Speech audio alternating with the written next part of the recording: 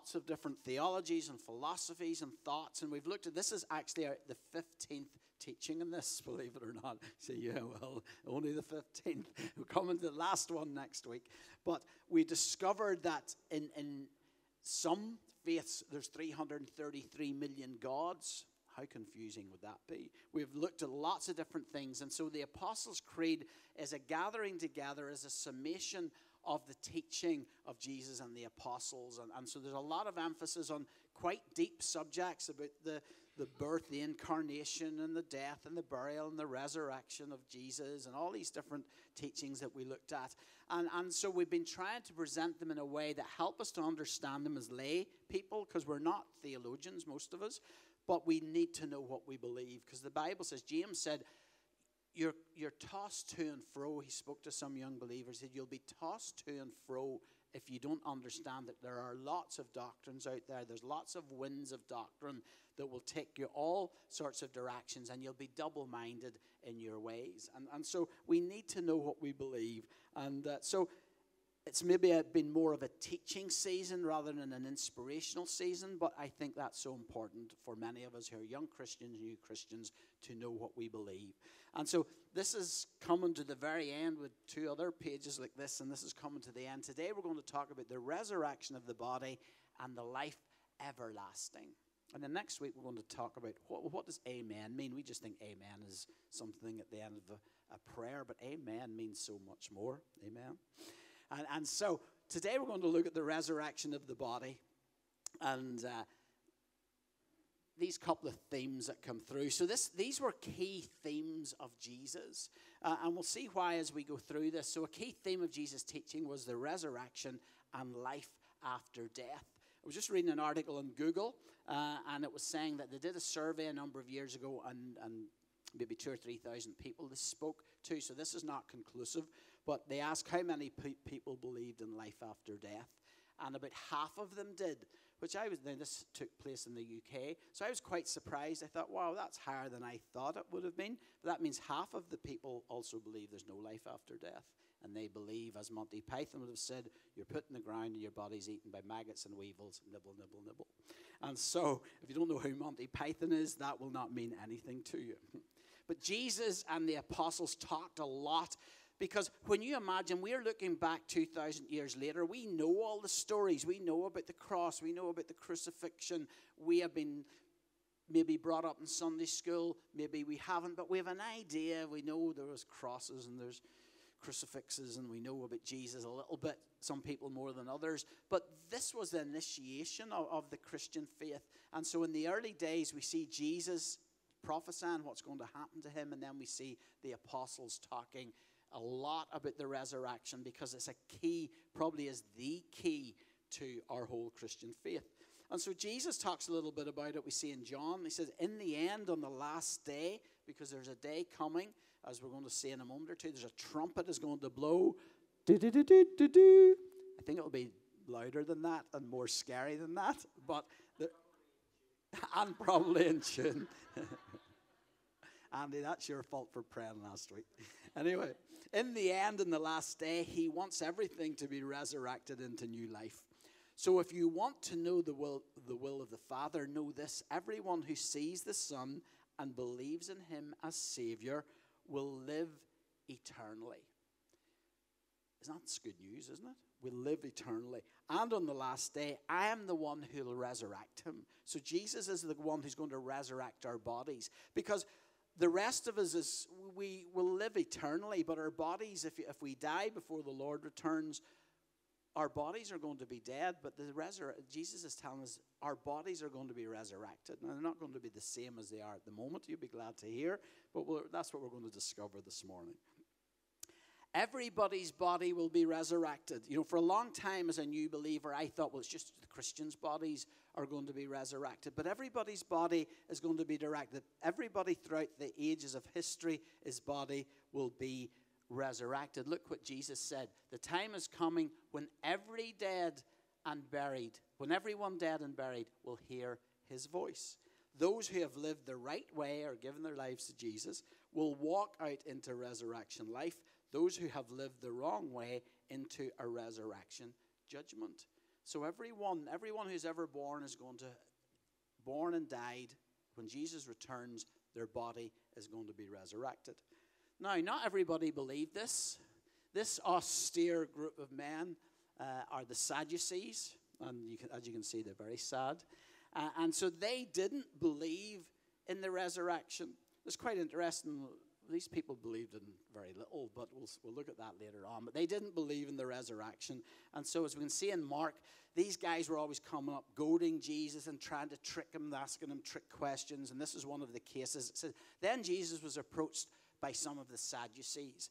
Now, if you've been in church for many years, you will know the joke is, well, uh, why were they called the Sadducees? Because they were sad, you see. That's sad, isn't it?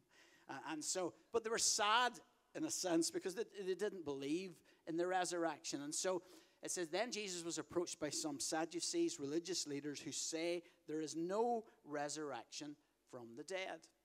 And so they came and they asked Jesus, Well, according to Moses, if you uh, were married and you died and you didn't have any children, your brother had to marry your wife uh, to give you an heir. And then they tell this big convoluted story. This guy had seven brothers and they all died and they all married somebody else. And whose wife are they going to be in the resurrection? Now, they were just tricksters and gangsters because they didn't believe in the resurrection anyway.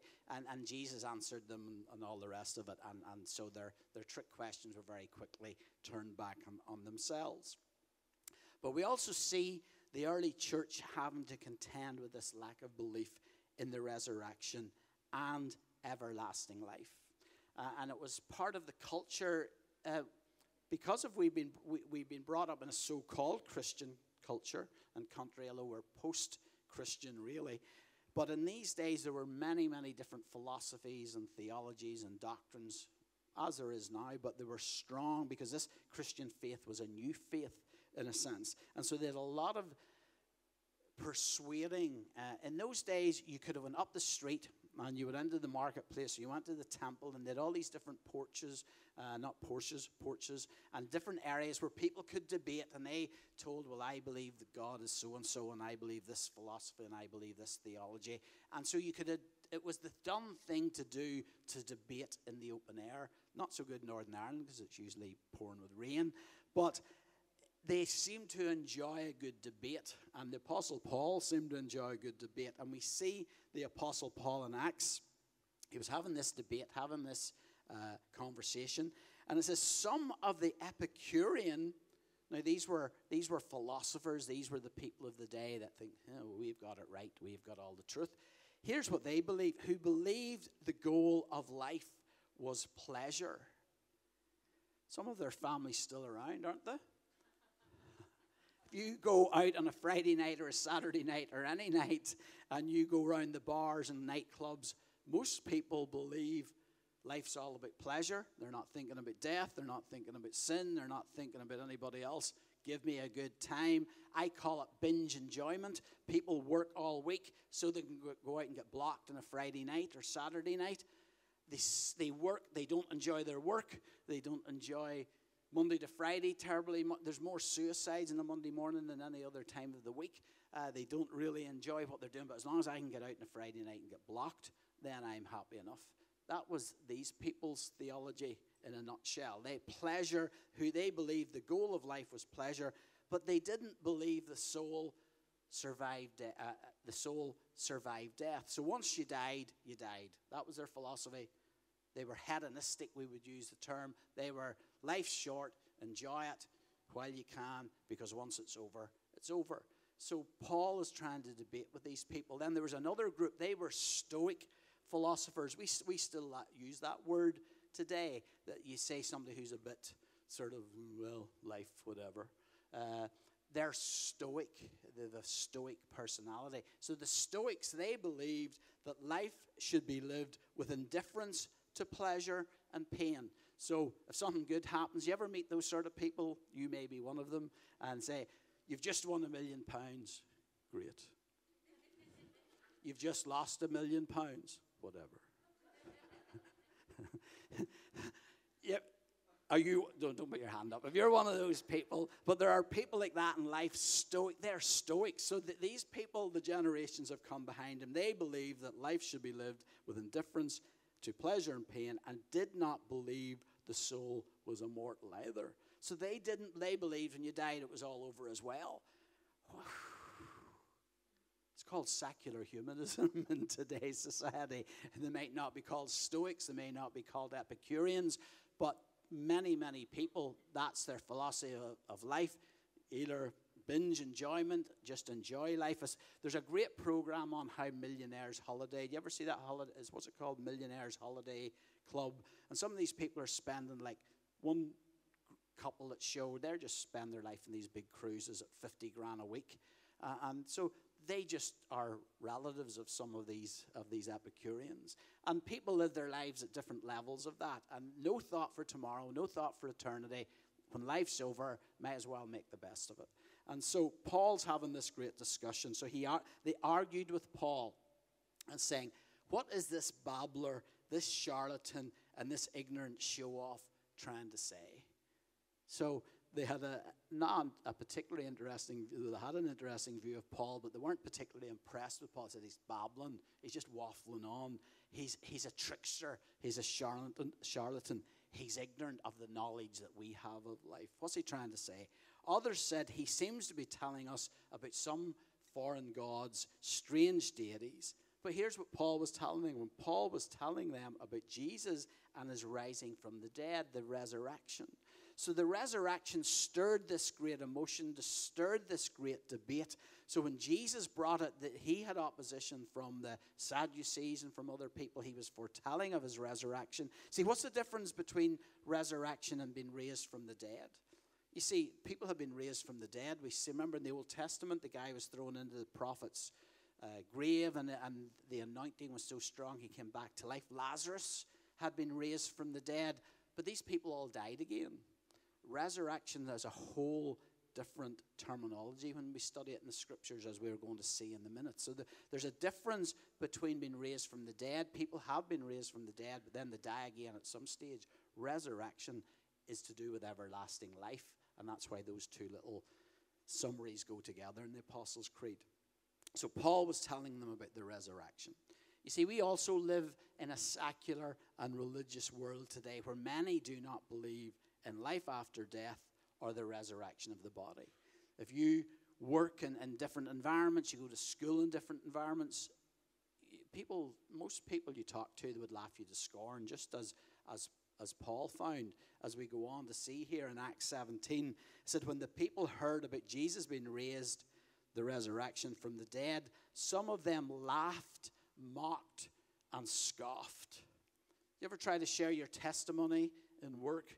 you ever try to share your testimony? Ever been laughed at? Ever been mocked? You Christians, Christianity is nothing but a crutch. Well, actually, Christianity is more like a stretcher because God carries us through.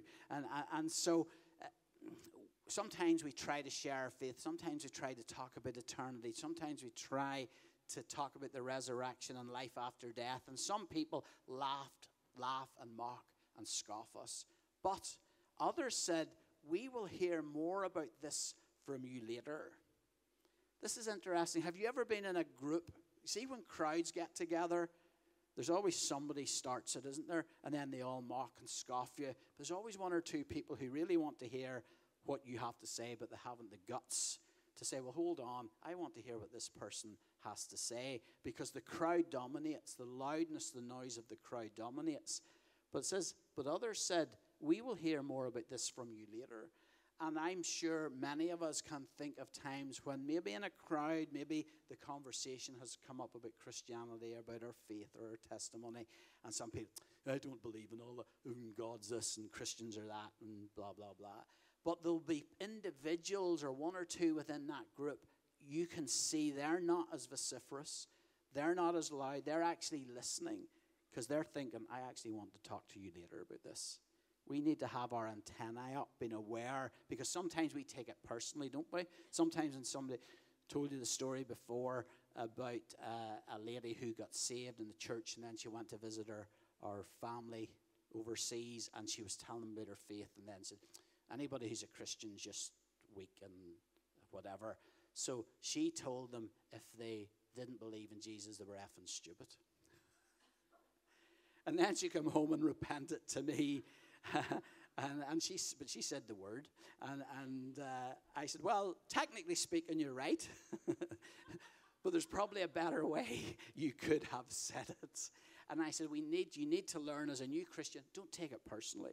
It's not you that have the problem with, it's your Savior, it's Jesus.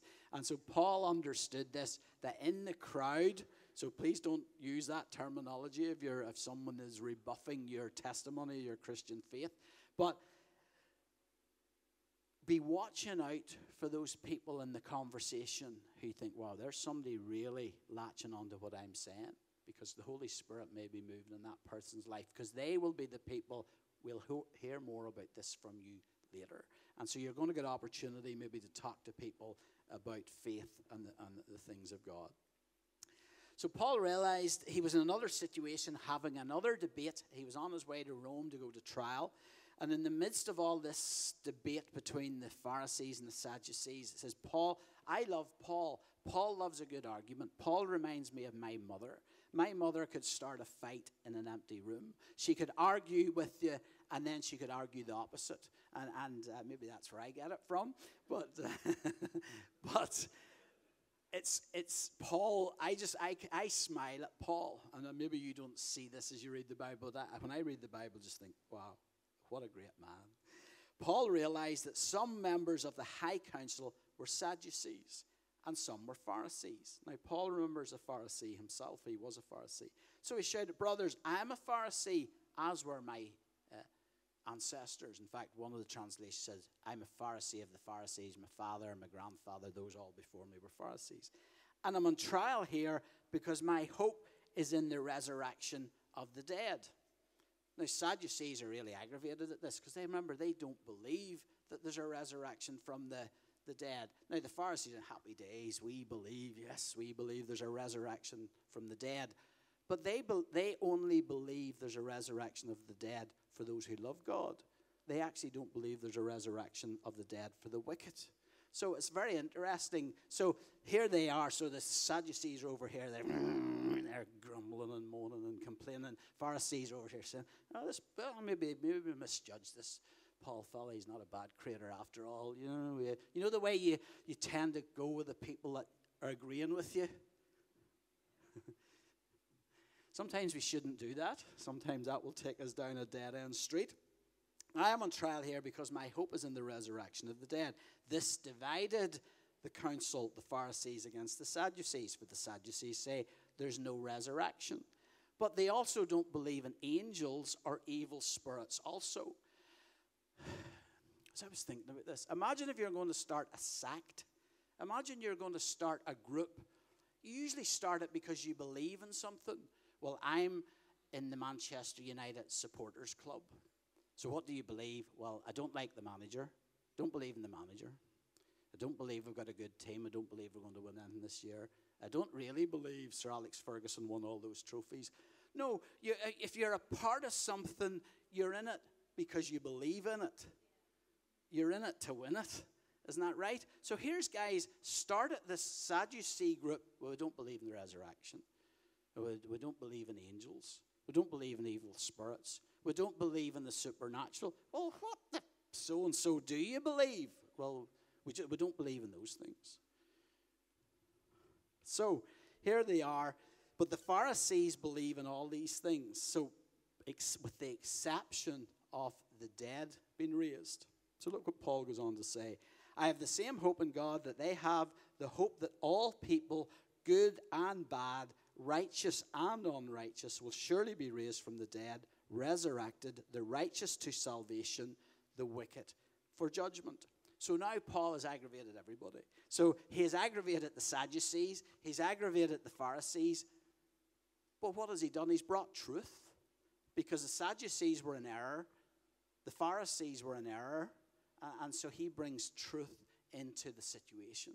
And so, but you can't bring truth into a situation if you don't know what the truth is.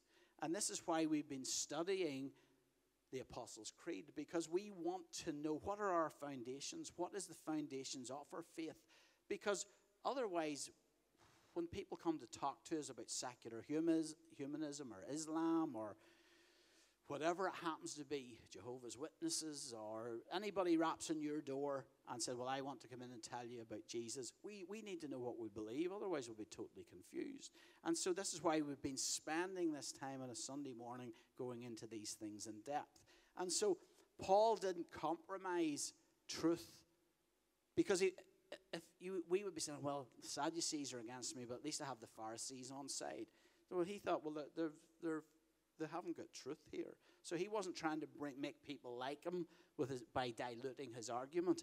He kept on the lines of the truth. So we're all in big trouble if there's no resurrection. Isn't that right? Because then the Epicureans are right, then the Stoics are right, then the secular humanists are right, and life's over. When it's over, it's over. Paul says this actually in 1 Corinthians. He said, Now let me ask you something profound yet troubling. You ever had one of those conversations with yourself? Anybody ever ask you something that was profound yet troubling? We should be asking ourselves these sort of questions, you know. We, as Christians, we should have conversations with other people and with ourselves that are profound and yet troubling. Because otherwise, we're never going to change we need to know what we believe and we need to get rid of stuff that's, that's not right in what we believe.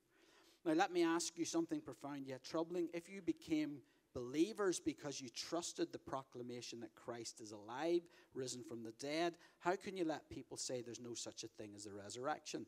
If there's no resurrection, there's no living Christ. Isn't that right? What are we doing here? We might as well be sitting at home on a Sunday morning if there's no resurrection, there is no risen Savior, there's no risen Christ. That's the whole emphasis, that's the whole foundation of our faith. And face it, and, and face it, if there's no resurrection for Christ, everything we've told you is smoke and mirrors. Everything you've staked your life on is smoke and mirrors. Not only that, but we would be guilty of telling a string of barefaced lies about God. All these affidavits or proofs that we've passed on to you, verifying that God raised up Christ sheer fabrications if there's no resurrection.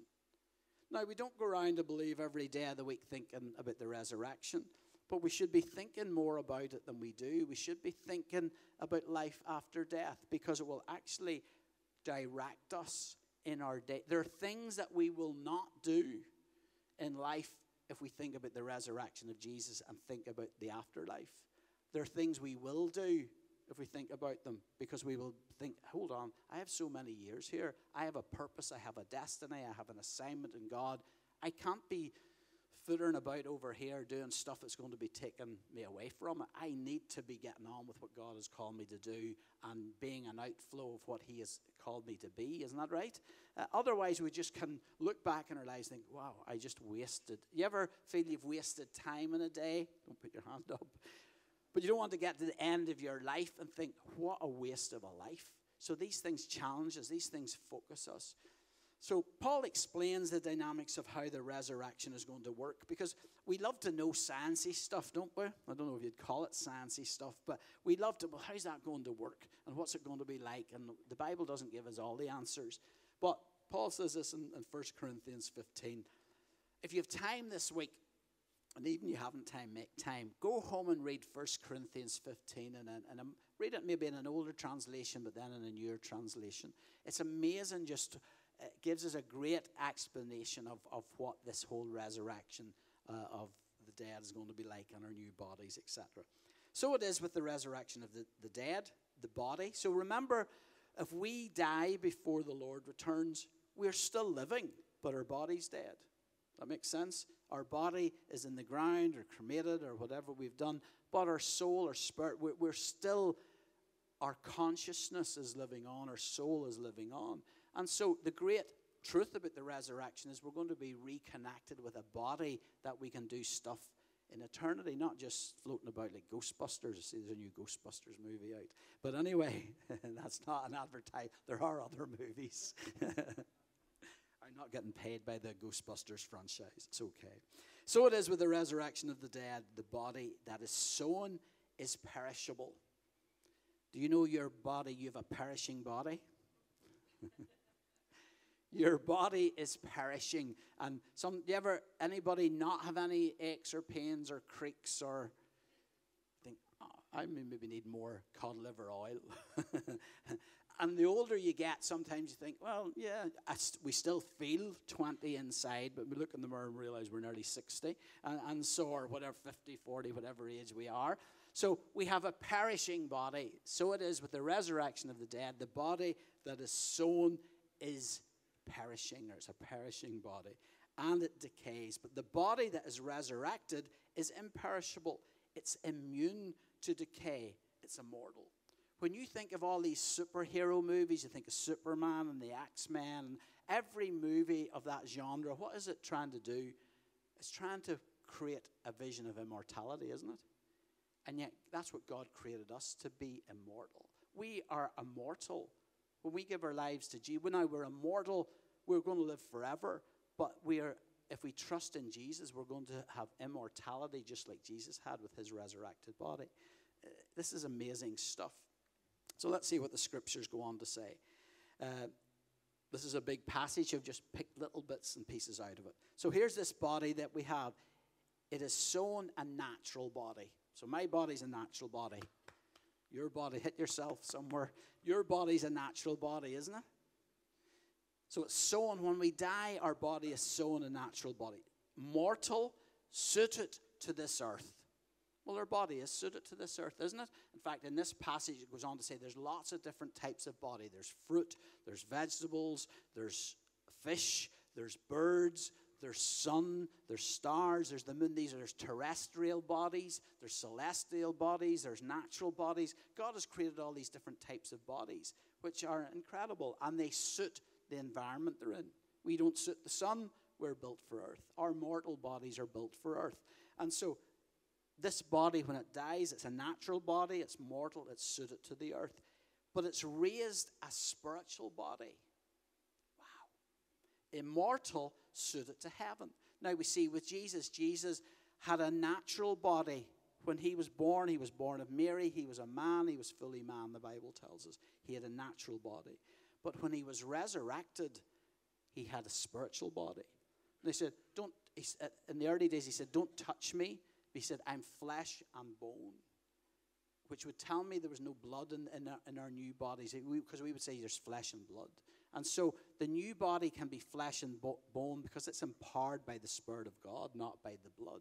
And, and so Jesus' blood was shed for us uh, for our sins. So this is a, this spiritual body is going to look like us possibly in our prime. I don't know. Jesus died when he was around 33, but Mary recognized him, didn't she?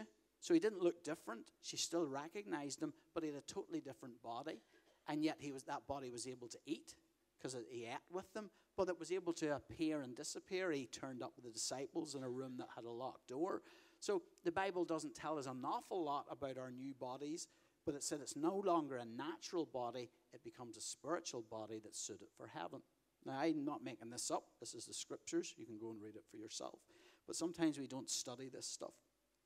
As surely as there is a physical body, there is a spiritual body.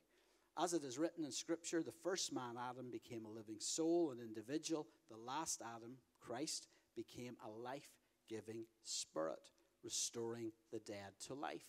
So, in eternity, so I don't think we're going to look like this. That's just to make sure you're not sleeping. That's gross. so, this is not my image of what we're going to look like in heaven. That's just to make sure you aren't sleeping. You can go on to the next one. I don't know what our bodies are going to look like, whether they'll be ripped or whether they'll be tanned or what they'll be like, but they'll, people will be recognizable as who we are, but we will, we will have spiritual bodies. I, I, I'm, I can't, well, I can't wait. I can wait till I die. I don't want this. I'm not saying, Lord, take me home now because I want to find out how this works. But, uh, but it's going to be amazing, isn't it?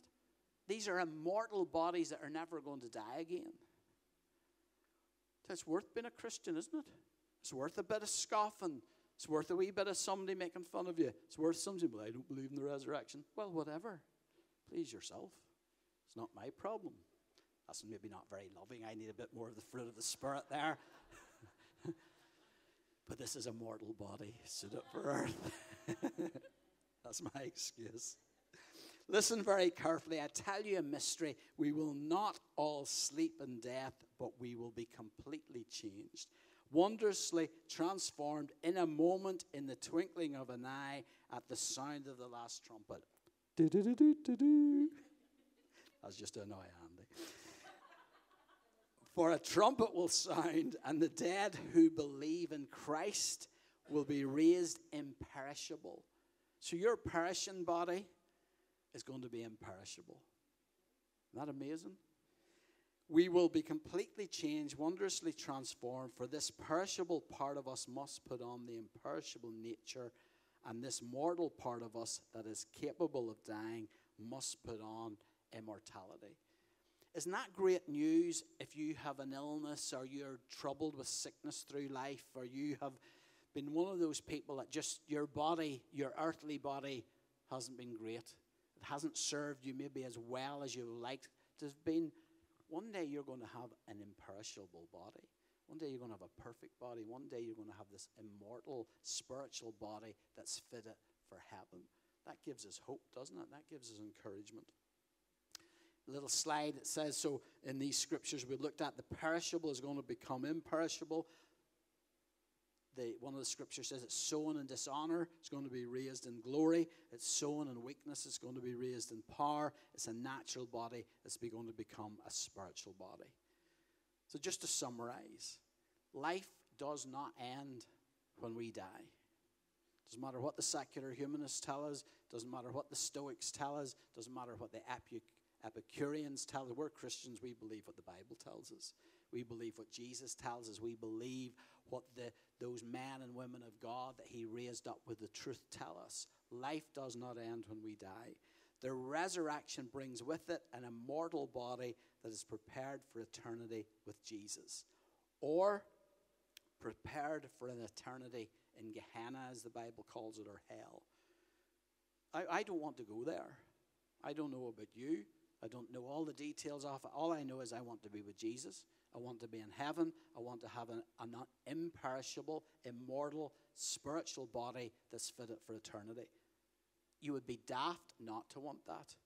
For the sake of being an Epicurean and thinking, well, life's all about pleasure, I think I could go for, forego a little bit of pleasure to serve God and to love God and to be on His side. Revelation says this, and the sea delivered up the dead who were in it, death and Hades, the state of death or disembodied existence, surrendered the dead in them, and all that were tried and their cases and their cases and all were tried and their cases determined by what they had done according to their motives, aims, and works. So the seas, wherever, everything's going to give up all those who have died in history, and, and they're going to have to stand before God. Then those unbelieving people will go away into eternal, everlasting, unending punishment. But those who are righteous and in right standing with God will go by his remarkable grace into eternal, everlasting, unending life. You know, our righteousness, those who are righteous and those who are in right standing with God, it's not because of anything we have done. It's because of everything of what Jesus has done. It's all about his death, about his resurrection, it's about the shedding of his blood for our sins and our responding to that. And, and so Sometimes we think, well, we, we, we feel guilty when we call ourselves righteous. No, well, we're not righteous in ourselves. It's imputed righteousness, the Bible tells us. It's His righteousness that He has, has given me. Uh, when I was a little boy, there was a program on on a Saturday morning called Multicolor Swap Shop. Anybody old enough to remember that? There's all the over 50s. And so you swap stuff. It was multicolored swap shop. You swap stuff. So you swap something bad for something good or something you didn't like for something you wanted. Well, God did that for us. He swapped our sin for Jesus' righteousness. Isn't that amazing? The Bible tells us when He looks at us as Christians, He sees Jesus, He sees the blood, He sees us as righteous, not because we always get it right, but because of what Jesus did. Uh, and so what a, what a swap shop. Last slide. Just reiterating that remarkable grace. But those of us who are righteous and in right standing with God will go by his remarkable grace. Not just any old grace, it's remarkable grace into eternal, everlasting, unending life. Maybe the band would just join me uh, on the platform. You know, this is why we have the